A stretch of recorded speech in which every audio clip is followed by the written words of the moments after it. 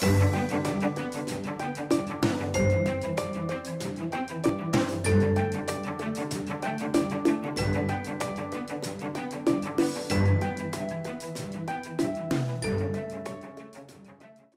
good morning, everybody. Um, just a quick note, the homework from last time is up here at the front, so please don't forget to pick up your work. Um, as far as the grading on it, uh, I think the biggest error was that several students solved the first problem using the psychrometric chart, but that problem was part of the material from the book before we even started talking about the psychrometric chart. So you really weren't allowed to use a psych chart in that first problem. Um, nonetheless, uh, pretty much everybody got the problems right. The last two problems, the psych chart problems, pretty much everybody got those right. So I really don't have any comments regarding that.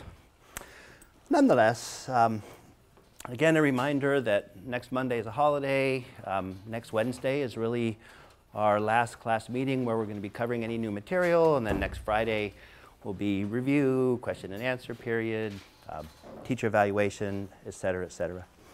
So let's just get back to where we were last time, which is talking about the wet cooling tower.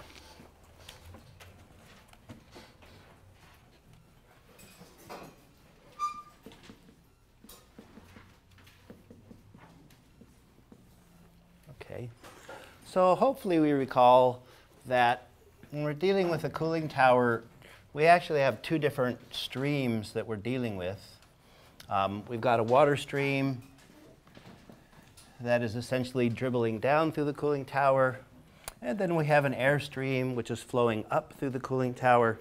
And as these two streams come into physical contact with one another, um, you know, heat transfer takes place um, and evaporation takes place. Um, the water is going to be uh, warmer than the air. Um, the air is going to allow the water to cool as it comes into contact, but also because of the evaporation of water into that air, we have more heat transfer associated with, uh, well, what we call latent heat transfer, which is just associated with the evaporation of the water into that air. So this is what we talked about last time. Um, let's just put the same numbering scheme here on the board. Uh, one and two represents the air going in and out, and three and four represents the water. Um, we understand that cooling towers are used in industry a lot. Um, I mean, they're, they're absolutely everywhere. Uh, I know I mentioned this last time. Maybe some of you have started to look around and you begin to see them. Uh, probably the one that's most visible on campus is that there's a big one right on top of the CLA building. It's actually not used anymore. Um, but if you're on a high enough spot, like the top of this building, just look over to the CLA and you'll see a cooling tower on top. Um, the biggest ones, of course, on campus are at the central chiller plant up on top of the hill.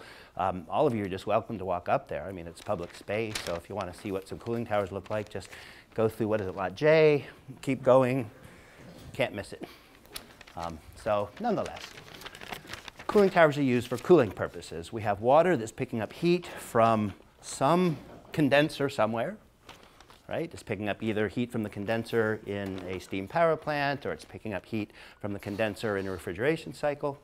Um, that heat is then rejected somewhere, which is into the airstream. So the water from your process, from your condenser, is going to go into the cooling tower. And that's the basic process that we're talking about here for the wet cooling towers. Now, last time we already looked at the mass balance equations. So just to summarize, uh, we know that the dry air mass flow rate is going to be constant. So we'll just call this m dot A.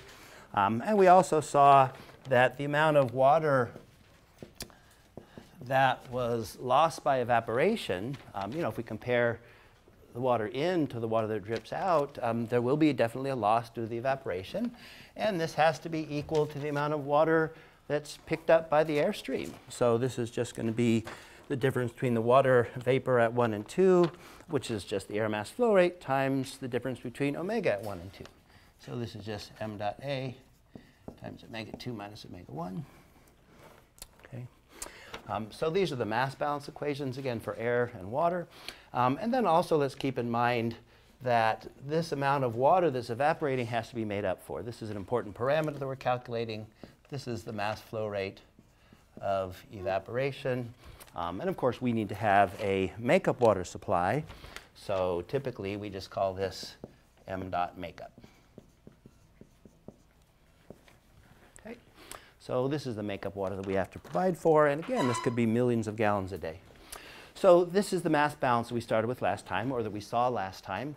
Um, let's now look at the energy balance. Okay. So the energy balance is just like any other energy balance that we've done. Um, I will note that in this particular case, uh, we typically would not be losing any significant amount of heat into the surroundings. Um, you know, often these are insulated, so um, you know, there's not going to be any heat transfer.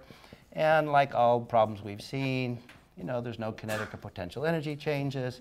Um, cooling tower is a very passive device, right? There's just water dropping and air flowing. There's, there's no work devices here, so uh, there's no work. So basically, our first law just becomes the sum over all inlets of m dot ihi equals the sum over all exits of m dot ehe. Okay, so this is our first law, right? Our, our energy balance. And now it's just a matter of realizing that there's two streams going in and two streams going out. So we would have our dry air stream, um, m dot a h1. Um, then we would have our water coming in at point 0.3, so just m dot 3H3. Um, and then this has to equal what goes out. So the energy that goes out, we've got m dot A H2. That's the air that goes out. And then we also have the water that goes out, so plus m dot 4 H4.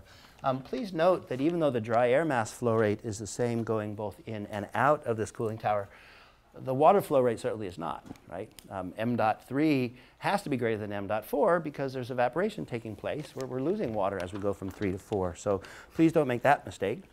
Um, so now what we should do is just rearrange this equation and manipulate it in a way that gives us the results we're looking for. So the first thing I just want to do is, is plug this equation in to above. So plug in from above. Okay, and we're specifically going to put it into the m dot 4 term right in here. Okay, and then I'll get the following. So we have m dot ah1 plus m dot 3h3 equals, um, and then we still have the air term, m dot ah2, uh, but now we have this m dot 4 term. Um, we could just rearrange the well, the mass balance for the water. So m dot 4 is just going to be m dot 3 minus m dot a, omega 2 minus omega 1. So we put that in here, m dot 3 minus m dot a, omega 2 minus omega 1, and then times h4. Um, this too can be rearranged. Let's just collect all the terms that have the air mass flow rate together. So we have m dot a and then we have an H2 minus H1, um, and then minus omega 2 minus omega 1, H4. So those are the terms that have the air mass flow rate attached to them. Um, and then lastly, we have all the other terms on the right-hand side. So this is just going to be equals.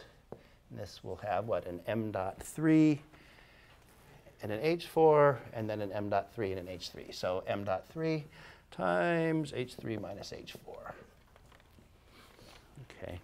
And in doing so, I move some of the terms from the right-hand side to the left-hand side as negatives and some of the left-hand side to the right-hand side. And the signs are hopefully correct in this particular equation. And now that we've written in this form, we'll finish this by solving for the air mass flow rate. So that's just m dot 3, h3 minus h4 and then just divided by this big term in the square brackets. So h2 minus h1, and then minus omega 2 minus omega 1 h4. All right. So this equation and this equation really become the two important equations that we need to deal with, right? Now, why are they important? Well, again, we know that we have to provide an appropriate amount of makeup water, which could be huge, so certainly that's important.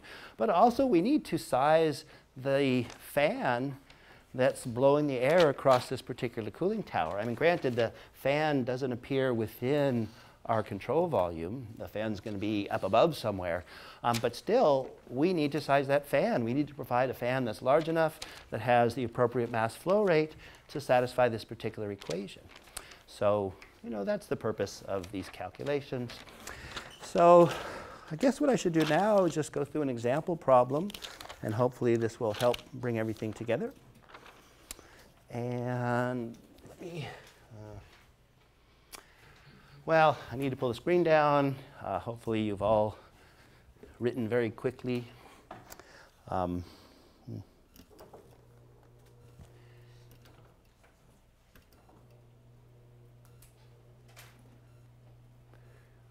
maybe I'll try to stop it. Oh, that worked today. Okay. Um, really, the first thing that I want to do is just show you some photographs of cooling towers. So let's let that thing warm up briefly. Uh, I mean, I just went to Google here this morning. It's not like I'm doing anything special.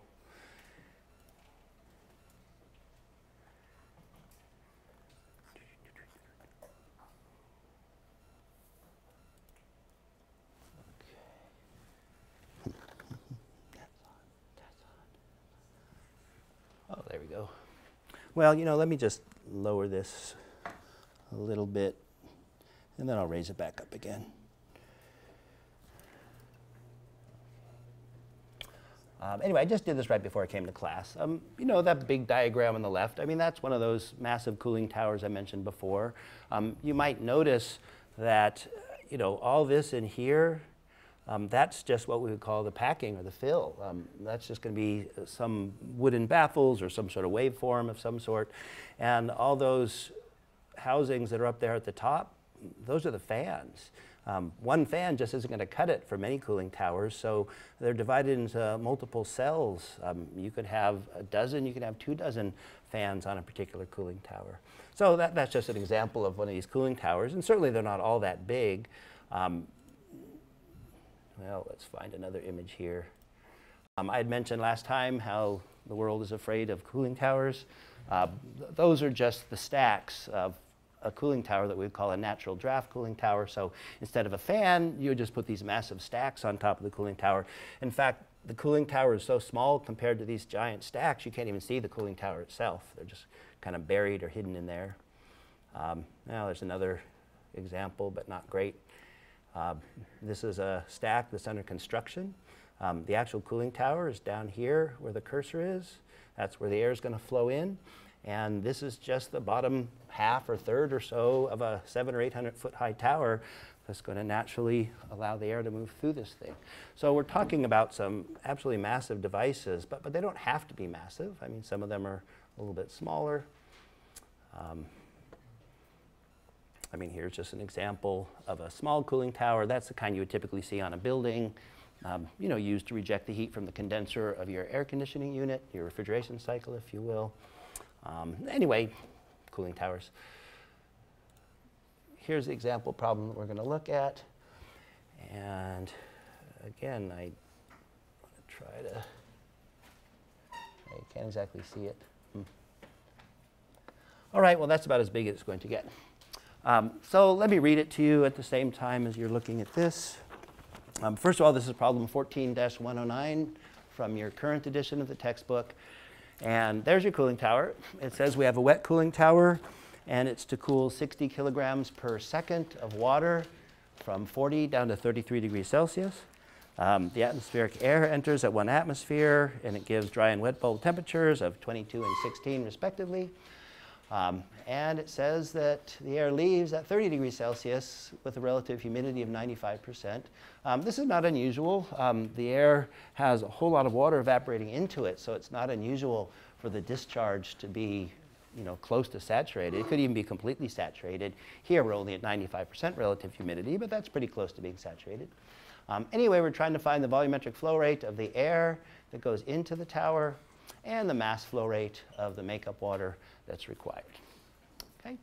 So these are the kind of things that I just mentioned we were interested in. I mean, this asks for the volumetric flow rate of air rather than the mass flow rate of air. But honestly, they're related, right? Volumetric flow rate divided by specific volume is the mass flow rate. So um, this is what we're trying to find. And of course, we can look up specific volume data on our psychrometric chart. So that's the problem we're looking at. Um, let me just write down the data that's given, and I'm going to use exactly the same numbering scheme that I've shown over here on the board. So we know that the water flow rate um, is 60 kilograms per second, so that's the water that flows in. So m dot 3 is 60 kilograms per second. Right.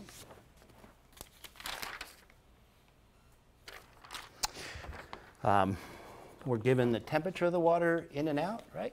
So that's points 3 and 4. So T3 and T4 are given as 40 and 33 degrees Celsius. So those are given to us, and certainly the water temperature is going to cool, right? I mean, it is a cooling tower, so it's going to cool by a number of degrees. Um, we're also given the atmospheric pressure is one atmosphere. Um, we also know the wet and the dry bulb temperatures of the air coming in, so that's 0.1. So the dry bulb and wet bulb at 1 are both given, so these are 22 and 16 degrees Celsius respectively. Um, then it tells us that the air leaves, which would be at state point 2, um, at 30 degrees C with a relative humidity of 0.95. Okay. It says use the psych chart, find the volumetric flow rate of the air into the tower. So we want V dot of the air in, so that's 0.1, right? So V dot 1 is unknown, and we're trying to find the makeup. Okay. So this is our problem that's been given. Um, now, we have all the data we need, right? Um, I mean, if you look at the equations, and now what I'm going to do is I'm just going to lift the screen up because um, I want to make sure we can see the equations.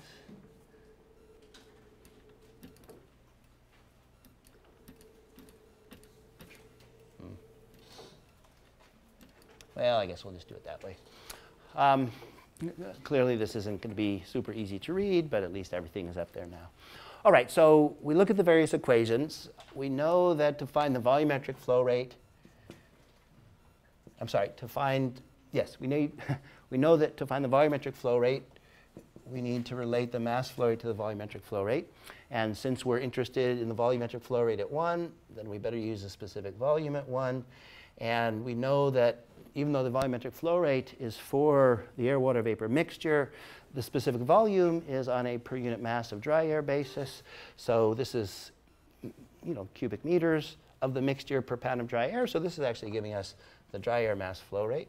So in other words, V dot 1 is just the specific volume times M dot A. Um, and then, of course, as far as finding the makeup water, it's really just a matter of finding, well, the difference between M dot 3 and M dot 4, or knowing the air mass flow rate, just finding omega 1 and omega 2. So we have all the properties we need, right? We have the wet and the dry bulb temperature of the air at the inlet. So state one is known. Go into the psych chart, get whatever data we need. Uh, we also know the temperature and relative humidity at the air discharged from the cooling tower. So again, we can go into our psych chart and get whatever we need. Um, now, as far as the temperature at 3 and 4, of course, we're going to need enthalpy data at 3 and 4. Um, technically, water that's in our atmosphere is always compressed liquid water. I mean, at standard atmospheric pressure, 212 degrees Fahrenheit or 100 Celsius is the saturation temperature. Our temperatures are all much less than that.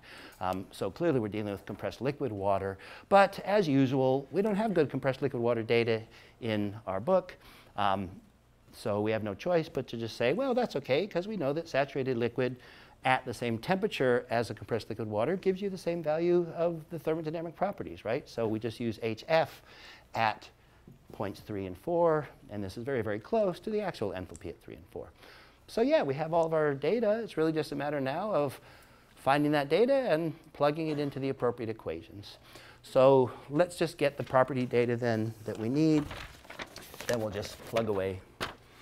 So first of all, at T1 wet and dry bulb. We go into our psych chart. Okay. Um, I don't know that I need to put a psych chart on the board anymore. I think we all know how to use them.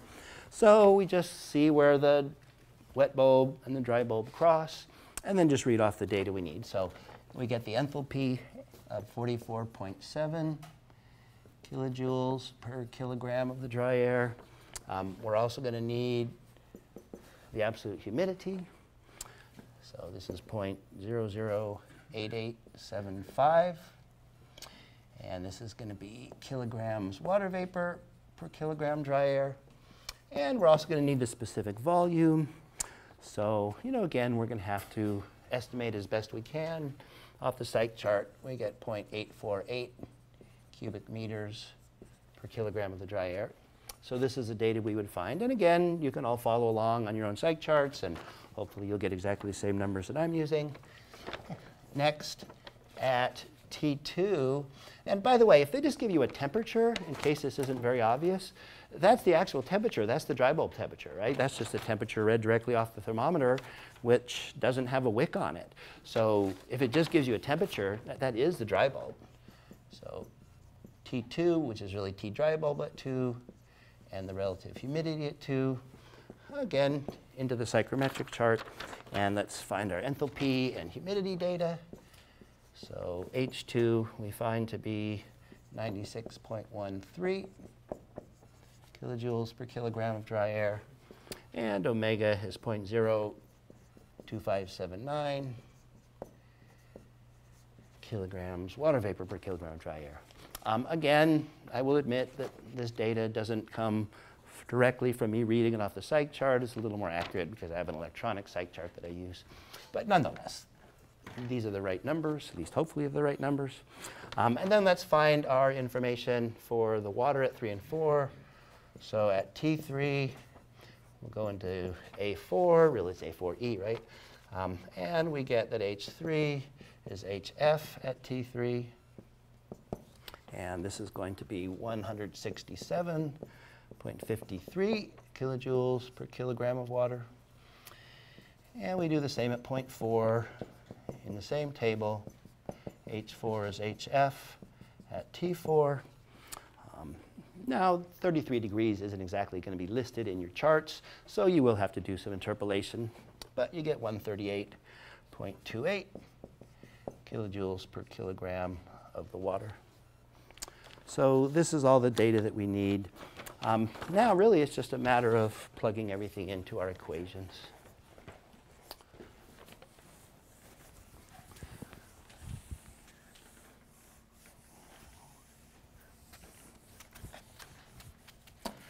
All right, so we're trying to find the rate of evaporation, which is the same as our rate of makeup water. And again, this is just MA times omega 2 minus omega 1. The equation is still here on the board from before. Um, and of course, m dot a we need to calculate. So we can't solve this one first, obviously. We have to solve it second. So we really have to do the energy balance equation now. So from the energy balance, let's just plug in the numbers. All right, so m dot 3 is given, so we have 60 kilograms per second, and then multiplied by the enthalpy difference. Okay. Um, okay. And we're going to divide this by, well, the other terms. So H2 minus H1 so 96.13 minus 44.70, again, kilojoules per kilogram of dry air. Um, and then we subtract from that the difference between omega 2 and omega 1, so 0.02579 minus 0.008875. Okay, and then these are humidity ratios, right? So kilojoule water vapor, I'm sorry, kilogram water vapor per kilogram of dry air. Um, and then we multiply this by the enthalpy, so what's that, 138.28 kilojoules per kilogram. Again, that's for water. Right. So if everything was done properly, um, then all the units should cancel. The kilojoule certainly cancels.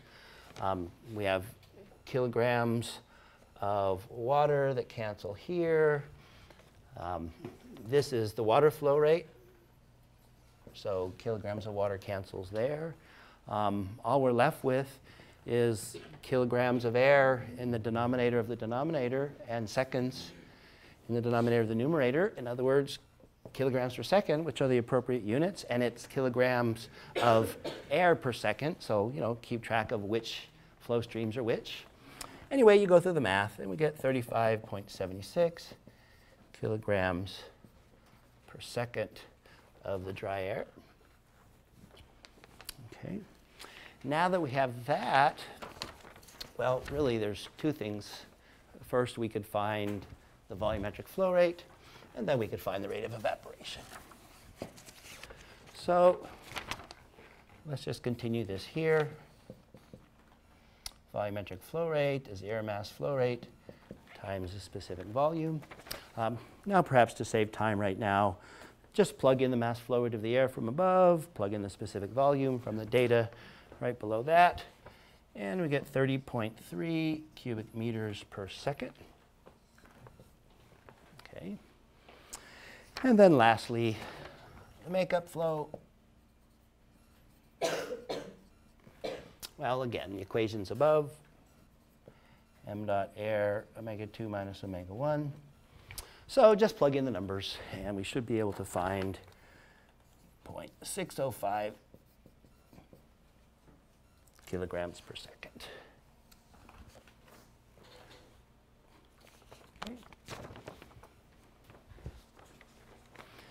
So there would be a typical cooling tower type of problem.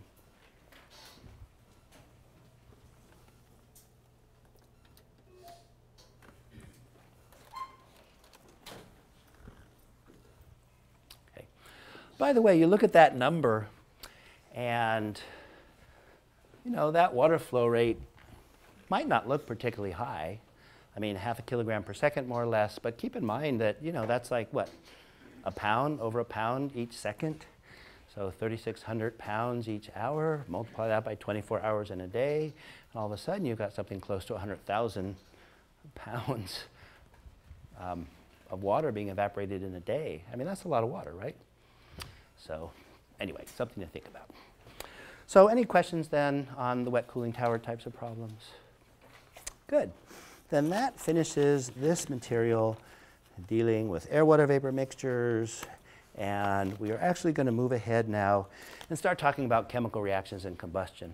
Um, on the syllabus, um, it appears that we're about a half hour ahead of where it says we're supposed to be on the syllabus, but that's actually by design.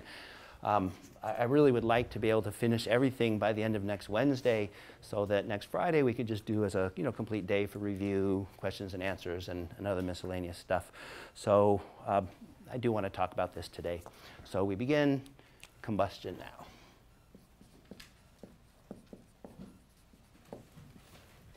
Okay. Well, combustion processes involve gas mixtures, and that's why we cover them here. Um, when we have a combustion process, we're going to take some sort of a fuel, and typically this fuel is going to be vaporized. So if we have, you know, let's say gasoline, uh, we're going to inject it into the engine. Um, it's going to vaporize, it's going to mix with air, and it's going to burn. Right? So it's a mixture. Um, if we have natural gas that we're burning, let's say in our home furnace or whatever it happens to be, well, again, we have um, a gas that we're mixing with air, which is another gas, um, and it's going to burn. And then when it burns, it's going to create a different set of gases, right? Um, in a typical combustion process, any carbon, well, assuming that the combustion moves to completion, any carbon which is in the fuel is going to burn into carbon dioxide, and any hydrogen that's in the fuel is going to burn into water. So you're always going to get carbon dioxide and water as combustion products. Um, I might also note that when we're talking about combustion, um, at least in this class, we're typically only going to be dealing with, with simple hydrocarbon fuels. okay? And for that matter, simple gaseous hydrocarbon fuels. You know, simple ones like methane, CH4, or propane, C3H8, or other similar ones like that. We're not going to deal with any complicated fuels. Um, many fuels, especially like fuel oil and coal, uh, there's a lot of other stuff in them, um, particularly sulfur. Um, the sulfur that burns will create sulfur dioxide, and that sulfur dioxide, when it gets into the atmosphere and mixes with water vapor in the atmosphere, actually becomes sulfuric acid. Um, I'm sure you've all heard of acid rain before. Well, it's from the combustion process. The sulfur that's in fuel will turn into ultimately acid rain or it could be acid fog. Um, pretty nasty stuff, by the way. Um, also, I might note that in the real world, there's going to be nitrogen that's going to be coming along with the oxygen in the air. Only the oxygen participates in the combustion process. The nitrogen just goes along for the ride. Uh, but we might note that at high temperature, like the high temperature of the combustion process, um, the diatomic nitrogen molecules, right, N2, diatomic, um, they actually dissociate into elemental nitrogen atoms, and elemental nitrogen is incredibly reactive. It's going to actually react with oxygen at these high temperatures of combustion and form various oxides of nitrogen that we just call NOx. And this NOx, like the sulfur dioxide that's formed, when it gets into the atmosphere, it reacts with water and creates nitric acid or other acids of nitrogen. And these too will contribute to acid rain. So we understand that now, um, and certainly, at least in this modern world of ours, um, we're trying very hard to you know, minimize pollution. We know that global warming is a problem. Um, we're always trying to minimize pollution. Um, there's ways that we can minimize pollution, minimize these acids that are formed and all that, but that's not part of this class. Um, so just think about it for the future. Um, but nonetheless, the combustion process is important. We're going to look at a relatively simple combustion process just to make sure that we understand the basics. We're not going to worry about sulfur or nitrogen. We're not going to worry about any of these acids that may or may not be formed. Um, we're just going to deal with simple hydrocarbon fuels. Now, still, there are many fuel types. Okay, um, but we're primarily dealing with the hydrocarbons. I mean, there's alcohol. Alcohol is combustible. Um, alcohol is actually mixed now with gasoline. When you buy your gasoline, it has a certain amount of ethyl alcohol, which is often called ethanol.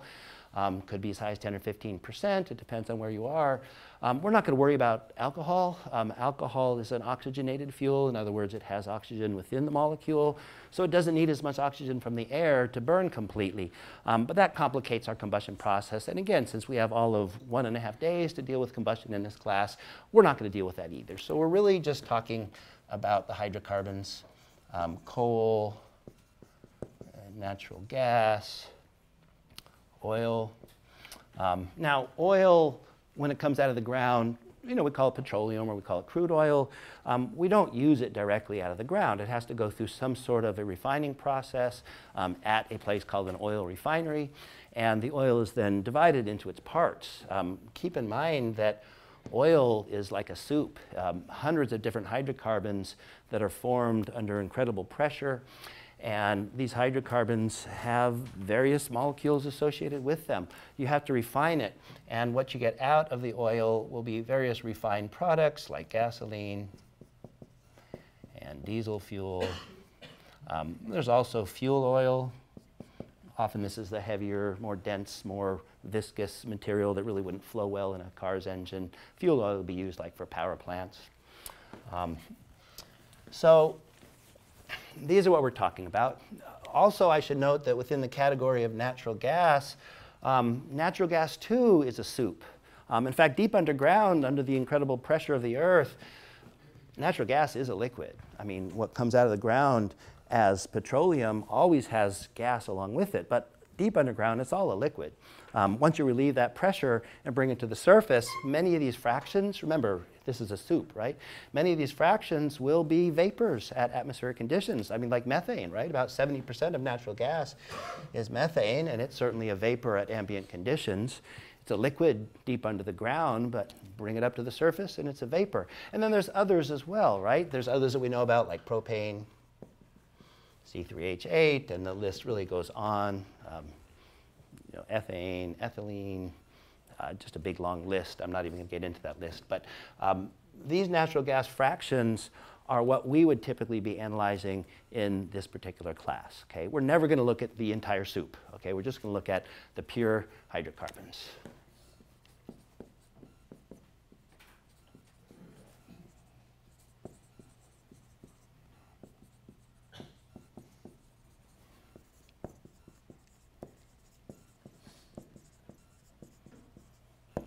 Okay? Um, and I might also note that we are also going to assume that for our combustion process, combustion moves to completion. Okay? So.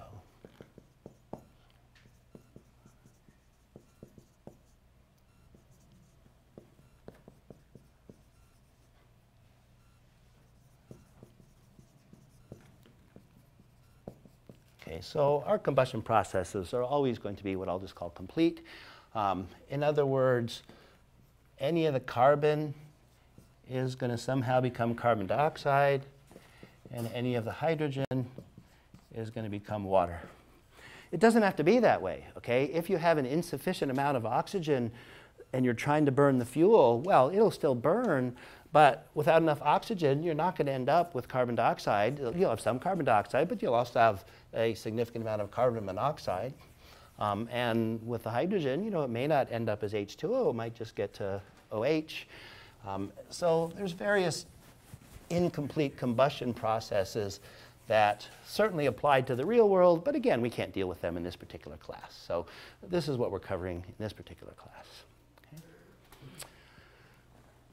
Well, with all this in mind, um, let's look at what we would just call a molar analysis of the combustion process. So combustion is analyzed using molar analysis. Um, in other words, the mass of the fuel and the air becomes less important to us than simply the molecules that are participating in the combustion process. We know that combustion is based on numbers of moles, not masses, right? If we have one carbon atom, or let's say one mole of carbon, then it's going to create one carbon dioxide. You know, if we have, let's say, two hydrogens, then that'll create one mole of water. So we're going to be we're going to be dealing with this molar analysis, and let's just begin with the combustion of pure carbon and pure hydrogen. So maybe I should even talk a little bit more about some of the uh, terminology we're going to use. Um, if I use the word reactant, I'm actually talking about the, well, the gases that participate in the combustion process. So this is basically fuel and air. Okay, these are what are reacting. Um, we would also have the products. So products are what you end up with. Okay, so you start with fuel and air, they burn, and the products are therefore going to be, well, whatever finishes from the combustion process. So this is going to be typically carbon dioxide and water. However, there's nothing that says that we have to have exactly the right amount of oxygen to burn the carbon and the hydrogen to CO2 and H2O. Um, in fact, in most processes, we actually have excess oxygen. Um, what we find is that for combustion to really move to completion, we need to have extra oxygen in the vicinity of the combustion process, really so that the fuel and the oxygen atoms can come into contact with each other and actually burn. Um, mixing is never going to be perfect, so you can improve the chance of combustion by having excess oxygen in the combustion process. Now, if you have excess oxygen in the air, then that implies that some of that oxygen is not going to be used for the combustion process and therefore is going to be a reactant as well.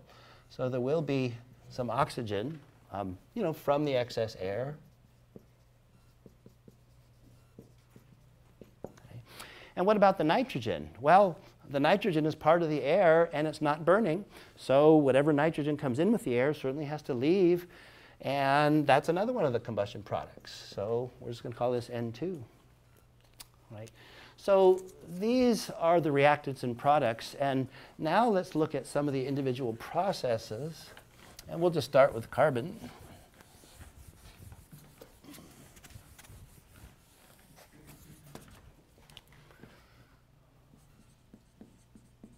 Okay, so we have C, C for carbon.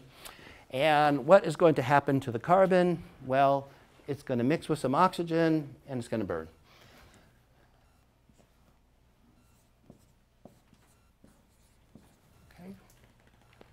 So the carbon and the oxygen are considered the reactants, right, because they're reacting. The carbon dioxide is considered a product because that's the product of combustion. And this is what's going to happen with carbon. You can see that for every one atom of carbon, you need one molecule of oxygen, O2, in order to create one carbon dioxide. If you want to, you can even put little numbers 1 here just to make sure that we understand that we start with 2 moles and we end with 1. Okay, if we look at the hydrogen, then we have a certain amount of hydrogen that's going to have to mix with a certain amount of oxygen in the air. And this is going to form water. Now, here we have to be a little bit more careful. Um, if we start with one hydrogen and one O2 molecule, that's certainly not going to be H2O. Um, we're going to have to have two hydrogens but that's not going to work out right either. If we have two hydrogens, we only need a single oxygen to form H2O. So the real balance would be this. We'd actually need four hydrogens to combine with one O2 molecule, and that's going to give us two waters. Right? And all I'm doing here is going through a balance, right? We start with four hydrogens, we end with two H2Os, right? We end with four hydrogens. And we start here with one oxygen molecule, in other words, two oxygen atoms, and we end up with two oxygen atoms. Okay? So these are just the simple combustion processes associated with carbon and hydrogen. Now, we're typically not going to uh, separate them out. We're, we're going to look at a particular fuel and then go through its molar analysis. So let me just show you this by example. And let's look at methane. Well, CH4 is methane gas, right? And we know that we have to provide a certain amount of oxygen, and the oxygen is always the oxygen in the air, it's O2.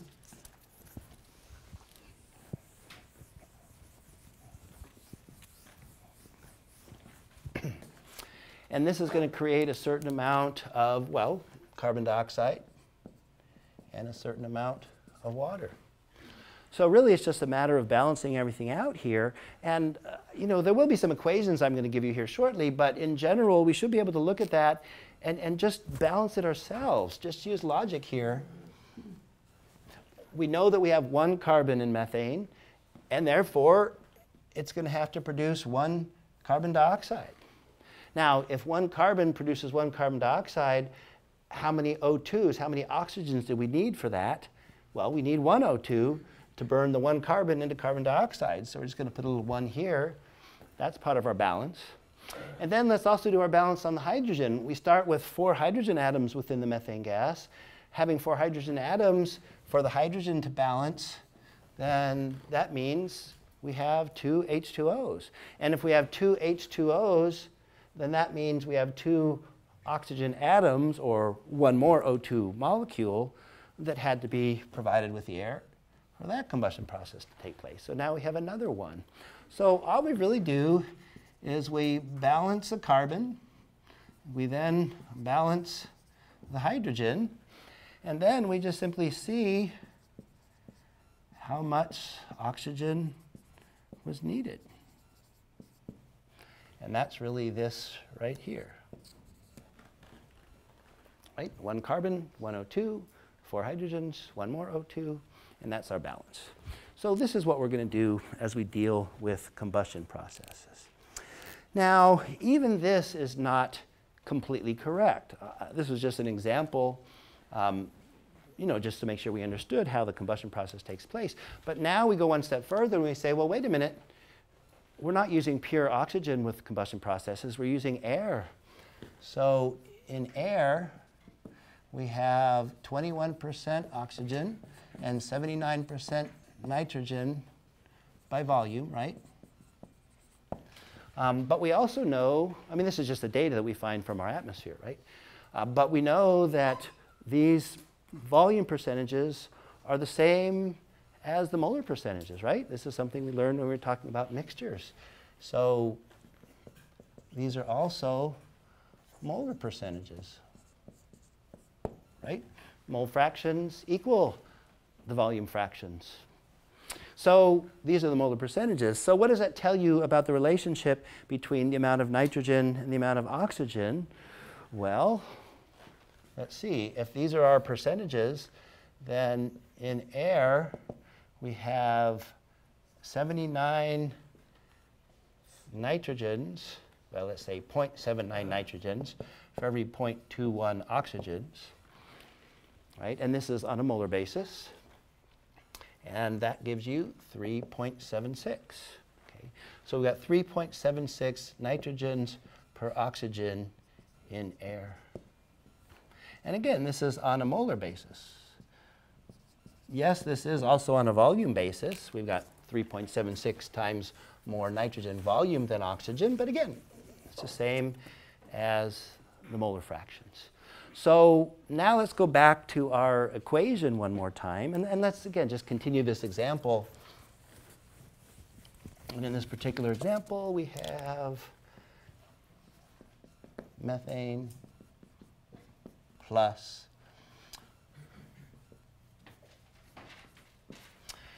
So I'm just going to leave this bracket here with a couple of openings because that's going to represent my balance. But we know that for every one O2 molecule we have, we have 3.76 nitrogens. Okay? So this is going to be the beginning of our combustion equation. And everything on the left-hand side here would represent the reactants.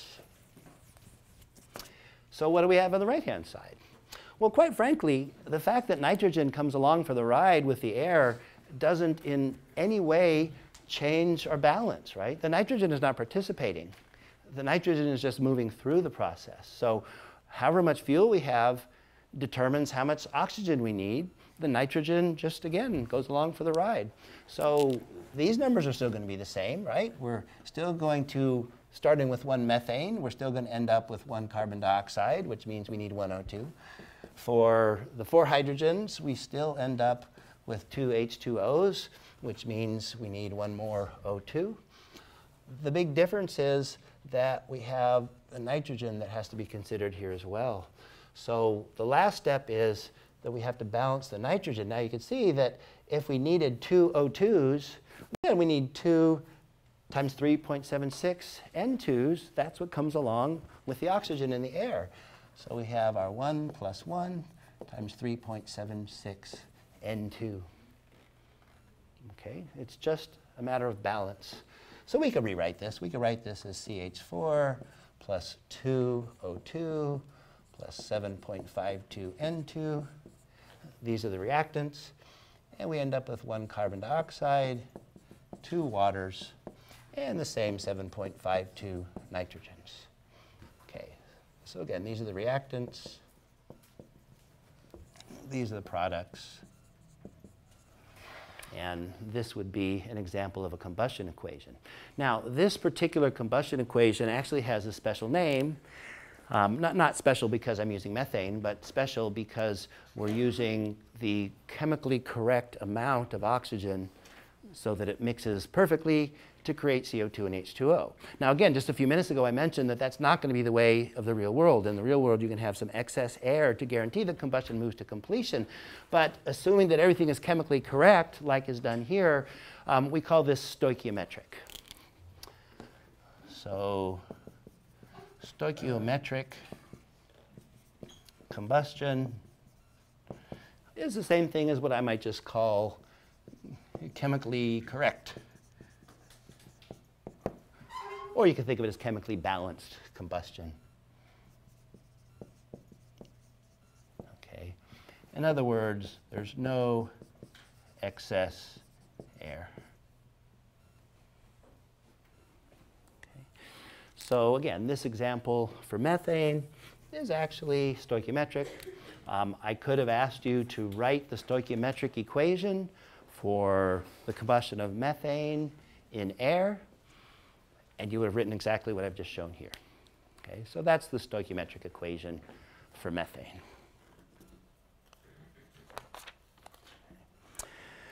So we will get to the case of having excess air in just a little while. In fact, it's probably not going to happen until next week. Uh, we'll see how far we get today.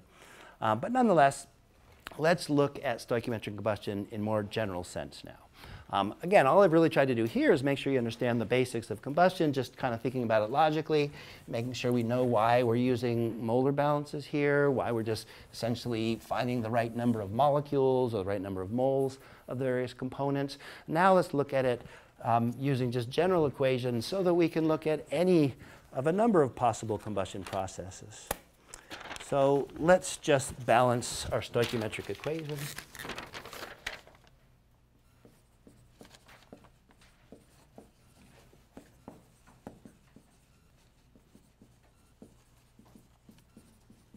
So this is our balance.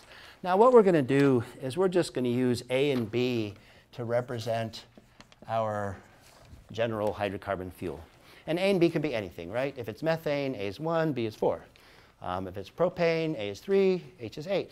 Um, you can just go into table A1 or A2 um, for a variety of gases, and you'll be able to see what the chemical symbols are for some of these various hydrocarbon gases.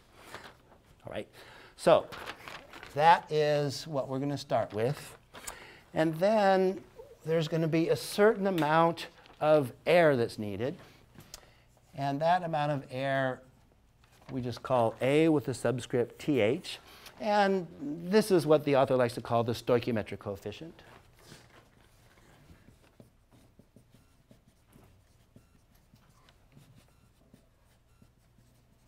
And in fact, this stoichiometric coefficient, is exactly what we've been talking about when I've been talking about balancing the hydrogen and the carbon, right? Here, this 1 plus 1, that's the stoichiometric coefficient, right? Same thing over here if I included the nitrogen in the air. This 1 plus 1, this is a stoichiometric coefficient, right? This tells me how much oxygen I'm going to need for the combustion process. So we have an O2.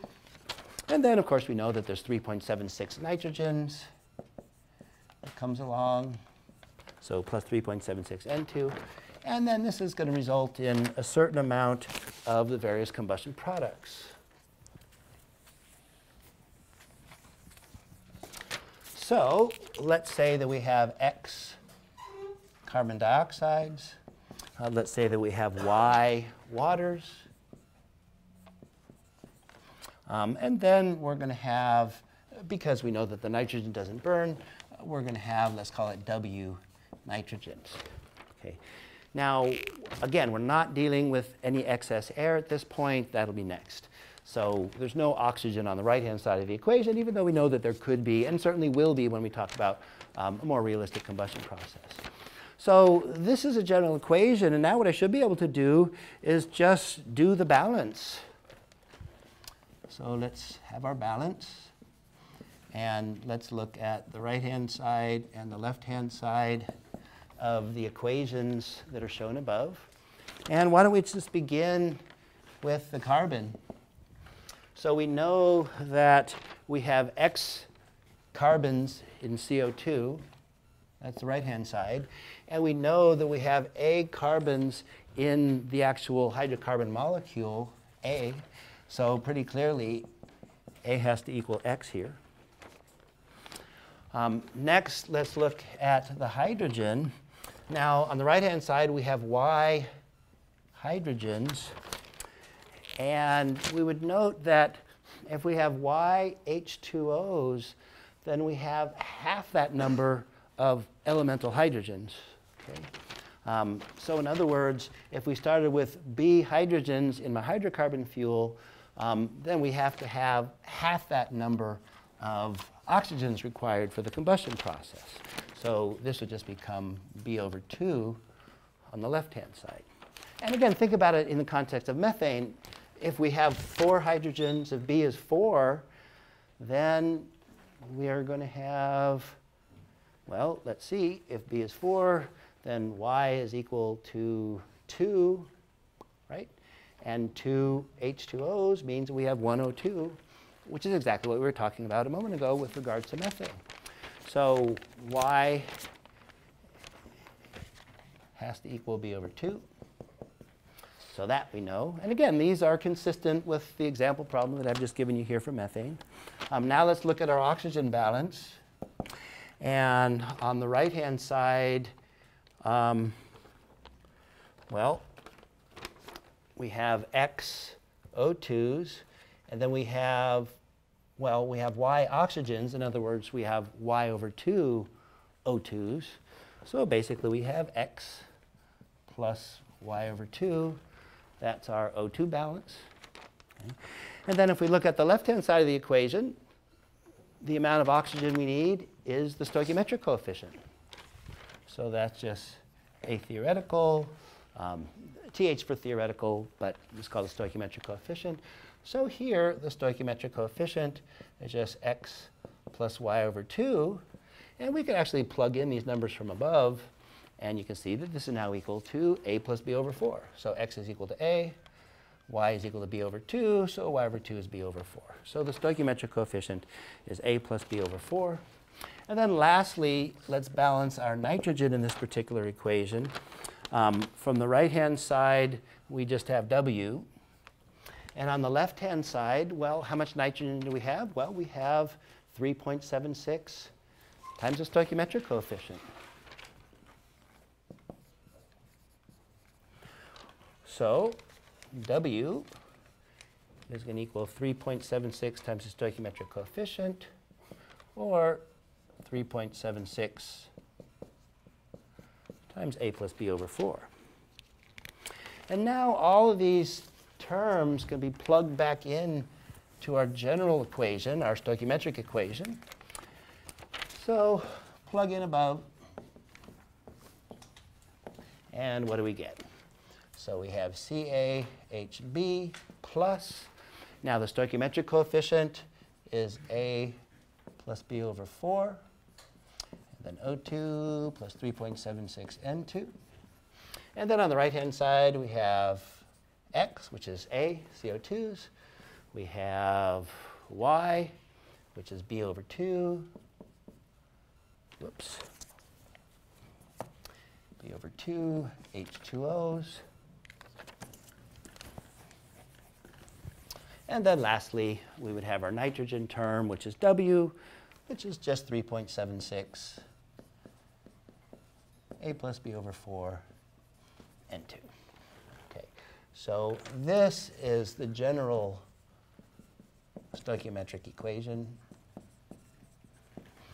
and it applies to any hydrocarbon, right? As long as I know which hydrocarbon, in other words, as long as I know A and B, this entire equation now is in terms of A and B.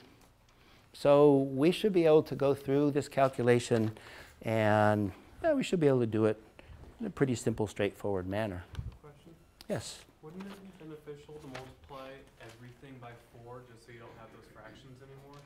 Because Um, isn't an even number, then Yeah, but see, the problem is, I mean, it's not that you couldn't. I mean, frankly, you could multiply by any equation, I'm sorry, you can multiply by any coefficient on the left and the right-hand side, and everything's still going to be correct.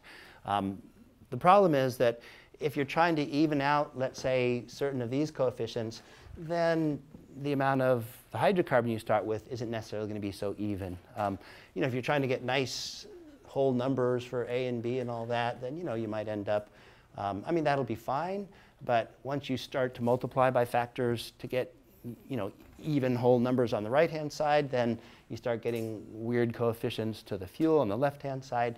So typically what we do is we always do the combustion equation in terms of a single mole, okay, one mole, one equivalent molecule, if you will. We always start with CaHB um, and move through the equation in this fashion. Okay.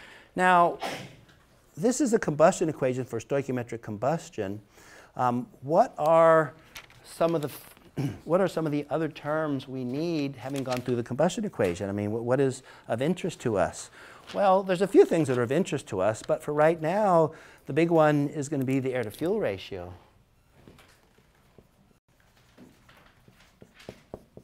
Okay. Um, AF, in fact, I better use the same notation as your book does. Um, the book just calls it AF with no slash in between them. But by definition, this is just the air mass divided by the fuel mass. That's important to us. I mean, if we're burning a fuel, we need to know how much air we need. Um, if we know that the fuel has a certain combustion energy associated with it, um, we can determine what flow rate of that fuel we need in order to produce whatever amount of heat transfer we need for the combustion process. But we also need to know how much air we need to mix with that amount of fuel for the combustion to move to completion. So the air to fuel ratio is actually an important term that we're going to need here. And fortunately, it's not difficult to find. Uh, if we simply look at the air mass, well, we know that air, um, it's really the dry air that we're talking about. I might note that we're always going to just neglect any water vapor that's in the air. Um, not that we have to do that because we have covered air water vapor mixtures, but when we talk about combustion, any water vapor that's in the air is just going to remain as water vapor, right? It's not going to burn, it's already water. So any water vapor is just going to move right through and we're going to ignore it. It's a very small amount compared to the amount of dry air. Nonetheless, this air mass is really the dry air mass. Um, we treat air as if it were a pure substance, so therefore its mass is just the number of moles times molar mass. Okay? And then, of course, the fuel would be the number of moles of fuel times the molar mass of whatever our fuel happens to be. So this would be an easy way to calculate. Um, now we also can rewrite this. We know that even though we can consider air as if it were a pure substance, it's not, but we can consider it that way. Um, the air is also a mixture of oxygen and nitrogen, so we could just write this as the number of moles times the molar mass of oxygen, and then plus the number of moles times the molar mass of nitrogen. So that would be an appropriate way to find the mass of the air. And then in the denominator, I guess I should note that um, we have number of moles times the molar mass of our fuel, um, but the fuel is just going to be a hydrocarbon fuel, so we could also write this as the number of moles of carbon times the molar mass of carbon in our fuel, plus the number of hydrogens, number of moles of hydrogen times the molar mass of hydrogen in our fuel. So this is uh, another way that you can make this calculation. Um, both are going to give you the same results. We should note just a couple of other things. I think this will be about all I have time for. So if we wanted to know the number of moles of air, um, do we have that? Well, sure we do. We've gone through our stoichiometric equation. We have A plus B over 4 as our stoichiometric coefficient. We know that the air is 1 part oxygen and 3.76 parts nitrogen. So can't we just take our stoichiometric coefficient and multiply by 4.76? Right? The stoichiometric coefficient gives you the number of oxygens, so there's one, and then 3.76 nitrogens that comes along with it. So that's where the 4.76 comes from. So yes, we do know that. Um, we also know, based on data that's in our book, that the molar mass is 28.97 kilograms per kilomole or pounds per pound mole. Um, we also know that the number of moles of carbon in this equation, isn't that just A, C-A-H-B? So there's A carbons, that's the number of moles of carbons. The number of moles of hydrogen, isn't that just going to be B? I mean, we've got B hydrogens in our fuel, so that's that.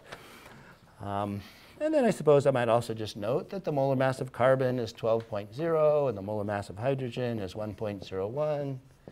These are both in kilograms per kilomole or pounds per pound mole.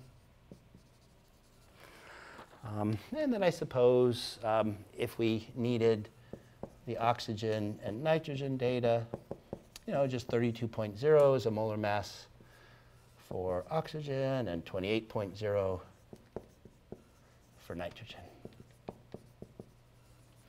So this is all the data that you would use. And now you should be able to solve at least some of the most basic of the combustion problems, as long as we don't have excess air. But I'm out of time. So this is really just the beginning of this discussion of combustion. Next time I'll go through an example problem.